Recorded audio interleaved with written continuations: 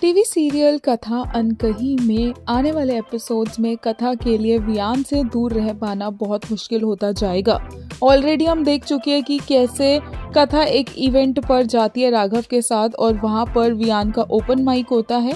वहाँ से कथा जैसे तैसे निकल जाती है, लेकिन राघव वहीं रह जाता है और इवेंट के बाद वियान से उसकी दोस्ती हो जाती है। राघव और वियान इतने अच्छे दोस्त बन जाते हैं कि वो साथ में ड्रिंक भी कर कर आते हैं।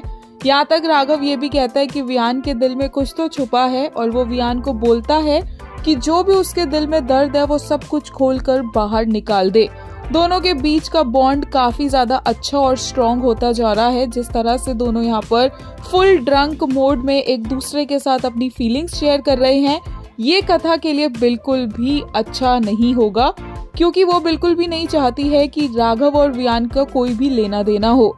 राघव वियान से मिलने के बाद काफ़ी खुश होता है और घर पहुँचता है इस तरह की ड्रंक स्टेट में और कथा उसे देखकर हैरान रह जाती है, जबकि कथा यहाँ पर ज़्यादा रिएक्ट नहीं करती है बट उसे सबसे ज़्यादा यही टेंशन है कि वियान जितना ज़्यादा राघव के नज़दीक आता जाएगा, उतना ही ज़्यादा कथा का राघव से शादी करना मुश्किल होता जाएगा और आरव और वियान को एक दूसरे से दूर रखना भी काफ़ी डिफ़िकल्ट हो जाएगा। बट कहानी तो अब इसी डायरेक्शन में आगे बढ़ेगी क्योंकि राघव के थ्रू ही कथा और वियान एक दूसरे के आमने सामने आएँगे।